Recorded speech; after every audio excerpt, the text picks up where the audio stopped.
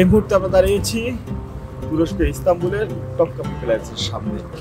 এই প্রাসাদ, এর ভিতরে যে প্রাসাদ রয়েছে, সেখানেই কিন্তু অটোমান সাম্রাজ্যের যে সুলতান, সেই সুলতানরা বসবাস করতেন।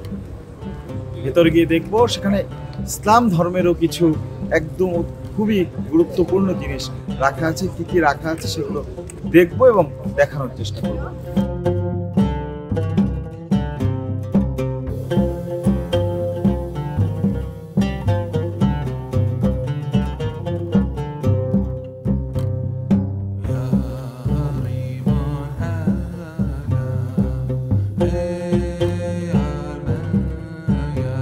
যেতে যেতে কিন্তু এই ভবনগুলো চোখে পড়বে।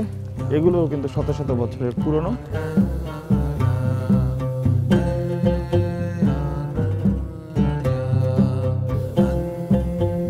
প্রধান ফটক থেকে আমরা ঢুকলাম। সেই ফটক দিয়ে ঢোকার পরে কিন্তু বেশ খানিকটা রাস্তা। প্রায় তিন থেকে পাঁচ মিনিট রাস্তা কিন্তু হেঁটে যেতে হয় এবং সেই হেঁটে গিয়ে মূল যে অটোমান সাম্রাজ্যের যে প্রাসাদ সেই প্রাসাদে আসলে প্রবেশ করতে হয়।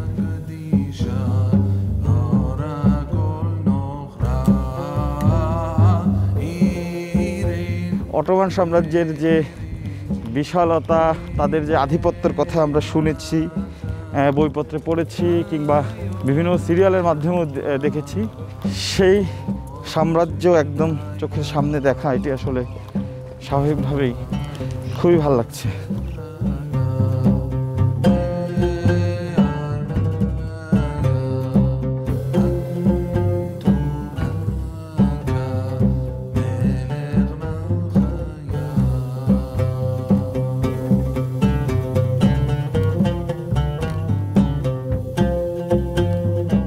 দেখতেই পাচ্ছেন পর্যটকদের কাছে আসলে এই বিষয়টি কতখানি আকর্ষণীয় বা কী পরিমাণ আকর্ষণীয়? পর্যটকরা কিন্তু এই পথ থেকেই বেরিয়ে আসছেন অর্থাৎ সেই যে প্রাসাদ সেই প্রাসাদ দেখে কিন্তু তারা আহ, বেরিয়ে আসেন আসলে তুরস্কে যারা আসেন তাদের কাছে আসলে তাপকাপি প্যালেস খুবই গুরুত্বপূর্ণ কারণ সবাই কিন্তু এই যে অটোমান সাম্রাজ্যের ইতিহাস সেই ইতিহাস জানতে আরও ভালোভাবে জানতে বা বিশেষ করে এই ইতিহাসকে একদম চোখের সামনে দেখতে এই লোভ লোভ কিন্তু কেউ আসলে সামলাতে পারে না।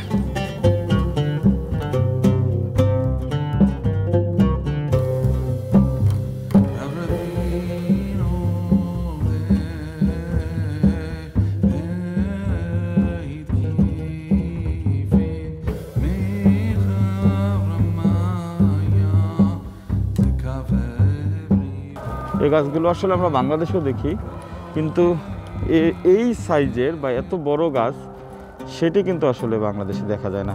বা এর আগে আমি কোথাও দেখিনি এত বড় এই এই গাছগুলো। দেখলেই মনে হবে যে এগুলো যে আসলে শত শত বছরের পুরনো, সেটা কিন্তু খুব সহজেই বোঝা যাবে।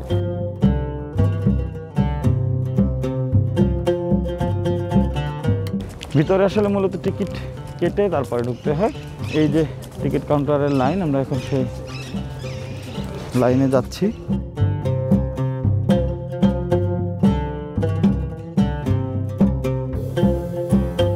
লাইনে দাঁড়িয়ে টিকিট সংগ্রহ করে আমরা ভেতরে যাব।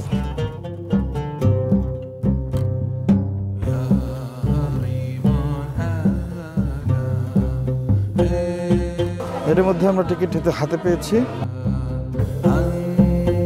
দেখতে পাচ্ছেন সবাই সুশৃঙ্খলভাবে লাইনে দাঁড়িয়ে।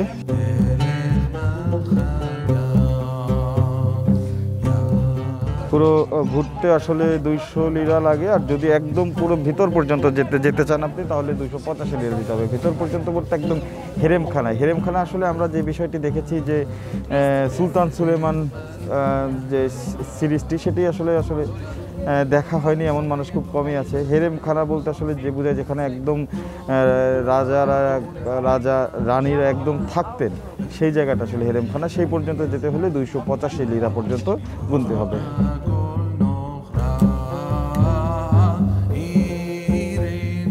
এই হচ্ছে প্রধান ফটক। এই ফটক দিয়েই আসলে সুলতান যারা রয়েছেন, তারা কিন্তু তাদের প্রাসাদের ভিতরে ঢুকতেন। এবং একটি বিষয় এখানে লক্ষণীয়, এখানে যে বিষয়টি বলা আছে, কেবলমাত্র সুলতানরাই আসলে এই এখানে যখন যাওয়া হতো, কেবলমাত্র যারা সুলতান ছিলেন, এখান থেকে ঘোড়া নিয়ে ঢুকতে পারতেন।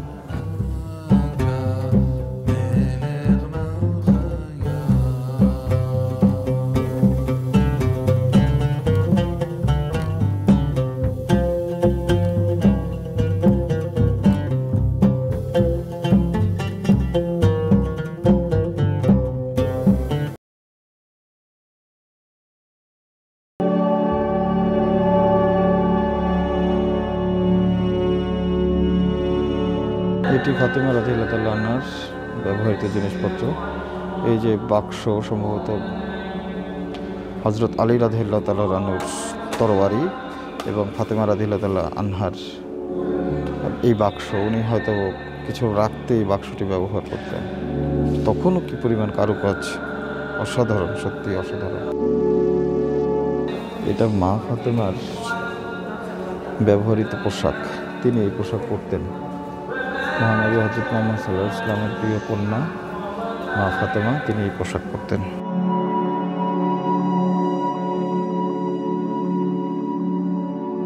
এটা ইউসুফ আলাইসালামের ব্যবহৃত পাগড়ি। আমি আসলে দেখে রীতিমতো শিউরে উঠছি।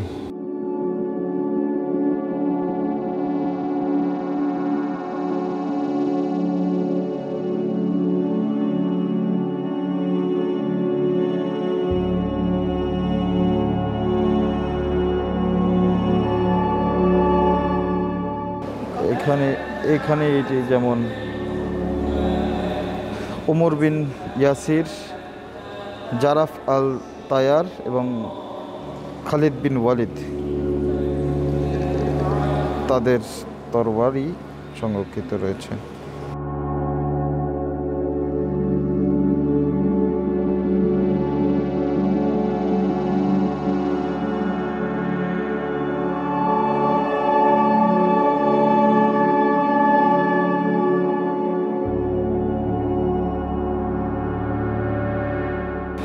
যে নিরাপত্তা ব্যবস্থা কিন্তু খুব কঠোর। প্রত্যেকটি কক্ষেই কিন্তু এক বা একাধিকজন নিরাপত্তার প্রহরী রয়েছেন এবং তারা কিন্তু যথেষ্ট নজরদারি করছেন এবং ছবি তোলার ক্ষেত্রেও নিষেধাজ্ঞা রয়েছে, যদিও আমি চেষ্টা করছি নিষেধাজ্ঞা ভেঙেই আসলে ছবিগুলো তোলার।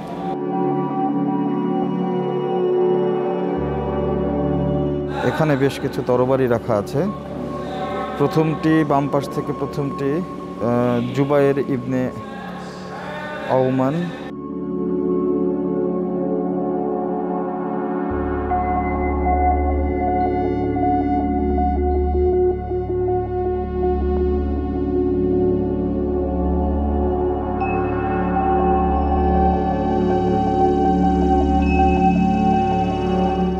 এই যে মুহূর্তে এই বোতলগুলোর মধ্যে যে সংরক্ষণ করা রয়েছে সেটি আমাদের নবী হজরত মোহাম্মদ সাল্লাহ ইসলামের দাড়ি মোবারক। নিতে গিয়ে আমাদের আমার হাত পা কেঁপে উঠছে।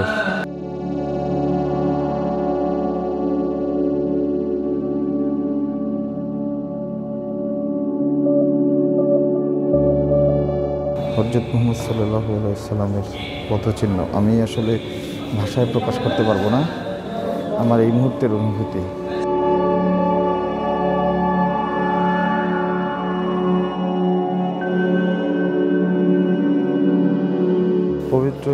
শরীফটি পবিত্র কোরআন শরীফটি চোদ্দোশো আটষট্টি থেকে চোদ্দোশো ছাপ্পান্ন, পনেরোশো ছাপ্পান্ন সাল, এই সময়কার তার।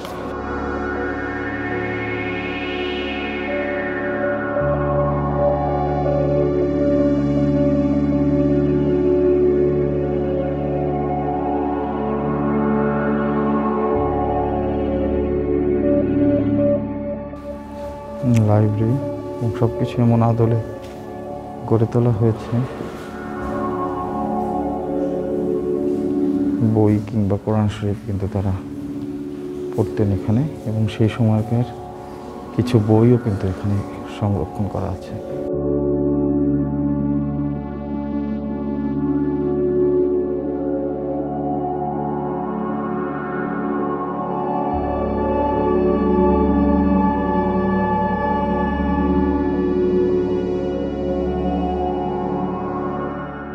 এখানে একটি ম্যাপ সংরক্ষণ করা আছে। এটি সম্ভবত কোনো এক কালের অটোমান সাম্রাজ্যের যে ম্যাপ, সেই ম্যাপটি। এবং এত নিখুঁতভাবে ম্যাপে সব কিছু বুঝিয়ে দেওয়া আছে ছবির মাধ্যমে, যেটা চাইলে অনেক কিছু বোঝা যায়। যদিও যে ভাষায় লেখা, সে ভাষাটি বোধগম্য নয়। এখানে কি কুড়াল তরবালি ঠিক না, কুড়ালের মতো একটি যন্ত্র সেটি রাখা হয়েছে। পুরো লাইব্রেরিটার কারুকাজ আমি যদি দেখাই উপরে অসাধারণ।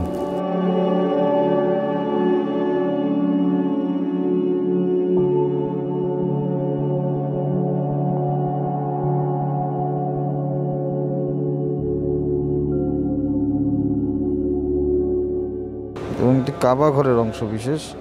যতদূর লেক দেখে আমরা বুঝতে পারছি, অর্থাৎ কাবা ঘরের কোনো অংশ এটি ব্যবহার হতো। পরে যে কোনো কারণেই হোক এখানে এসে পৌঁছেছে। এখানে ওই সময় বেশ কিছু দরজার অংশ বিশেষ দেখা যাচ্ছে।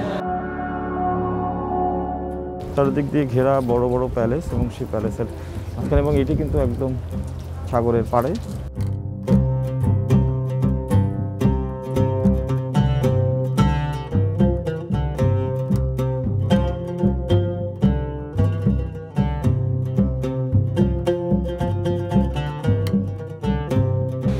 সুলতান আহমেদ সুলতান তালাত তার সিংহাসন।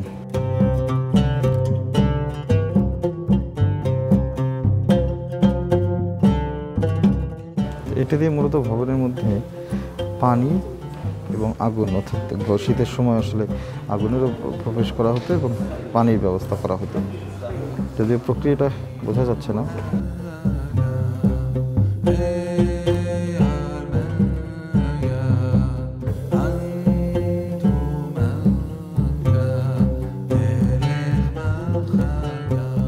প্রাসাদগুলোর বৈশিষ্ট্য হলো এটি এমনভাবে সংরক্ষণ করা হয়েছে, সেটা কিন্তু দেখতে মনে হবে একদমই নতুন। আবার এমনভাবে তৈরি করা হয়েছে, আসলে মূল পুরো ক্রেডিটটা তো আসলে তাদেরই যাবে, সেই অটোমান সাম্রাজ্যে তারা এমনভাবে তৈরি করেছেন যেটি আসলে এখনও শত শত বছর পরে এসেও নতুনের মতোই লাগছে।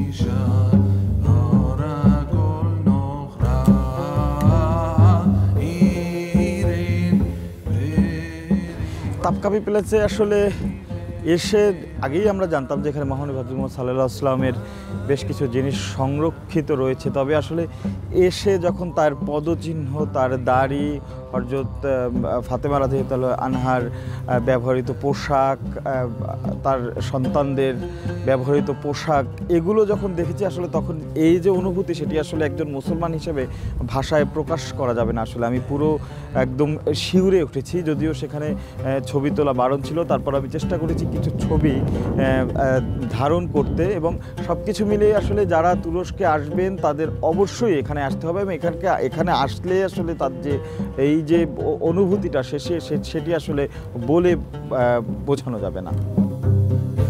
রাশেদ লিমন, সময় সংবাদ, ইস্তাম্বুল তুরস্ক।